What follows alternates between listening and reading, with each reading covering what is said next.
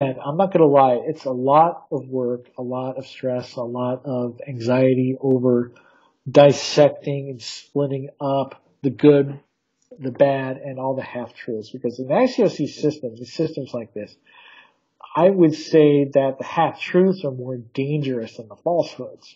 Mm. Because they keep you, they keep you locked in and they hide what's really the things that are the most important. Um, for people who have been reached out to by the ICOC, hey, you're not crazy. you're, yes, they behave like that, and you have to realize that they are human beings created in the image of God. Jesus loves them. Jesus died for them, but they are holding on to an idol. They're holding on to a system. They're holding on to it for their identity, and it's hurting them and it's burning them and it's causing so much damage to them. And I feel sorry for them. I just wish you could just get them to break up the whole thing, get everybody to leave, even though that's doesn't look like it's going to happen anytime soon. Um, I do have ideas. If there's another Henry Kriete level event to go and probably go in and take a group of people with me and kind of like clear the exits to the fire doors, if you know what I mean. It's like, yeah, you probably need to go.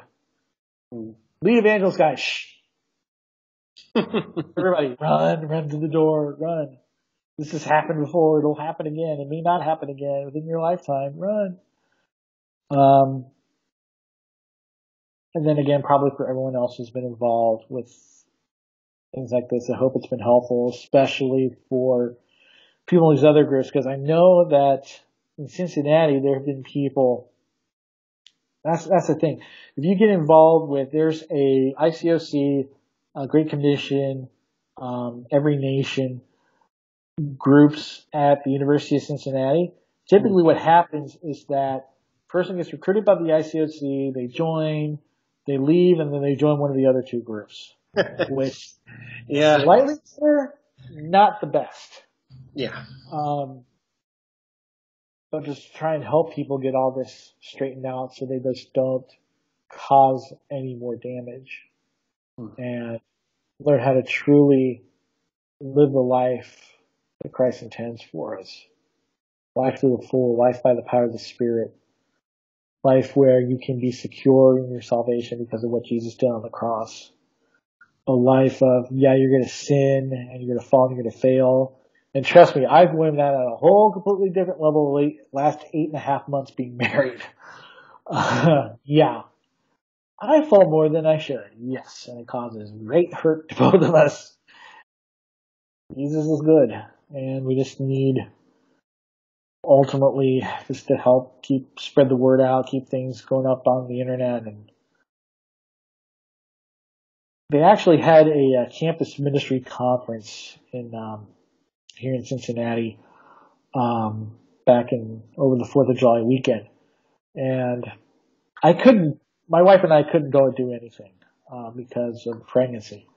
So um, I tried to get in there and interact with some people on social media in kind of a graceful type of way basically trying to do a study about the role of the Holy Spirit, and it didn't really get a whole lot of feedback after I got to the point where, okay, here's what the Holy Spirit does. What does the Holy Spirit do with you and your discipling relationships? Crickets.